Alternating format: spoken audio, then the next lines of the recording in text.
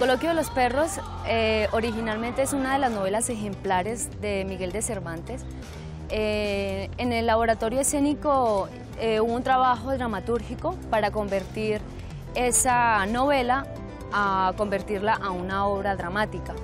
Entonces la obra de qué trata? Trata sobre dos perros que durante una noche les es dado el don de la habla. Entonces hay uno de los perros que se llama Verganza que le cuenta como a, Cipión toda su experiencia con los diferentes amos que tuvo y contarles como esta humanidad, cómo se comporta la humanidad con él.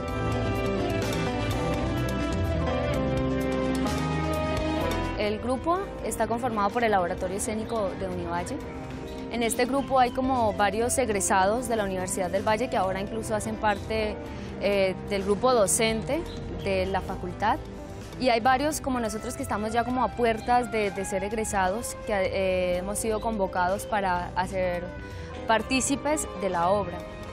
La idea surge, eh, Alejandro González Puche, que es un excelente director, un excelente productor, y su esposa Machen Hong, que también es una excelente directora, entonces ellos como que ven la necesidad de hacer este teatro clásico, pero de una manera diferente, como de una manera muy ¿cómo decirlo?, colombiana, eh, adaptarla para que todo el público se pueda divertir.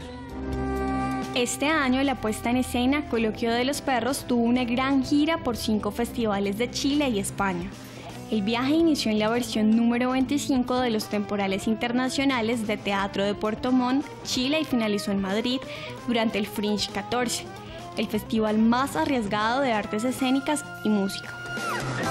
Fue como una experiencia muy bonita para el grupo. Para mí más que todo era la primera vez que yo tenía una gira internacional y hacerlo con estos grandes maestros para mí fue eh, una experiencia muy enriquecedora.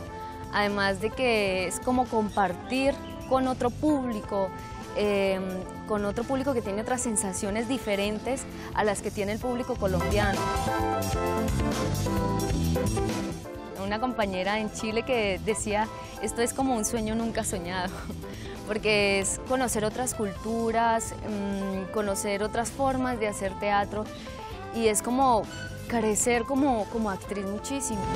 Todo parece indicar que el éxito de la obra continuará en el 2015. Ya fue invitada a participar del Festival de Teatro de El Paso, Texas, y está planeada una pequeña gira por Estados Unidos y México.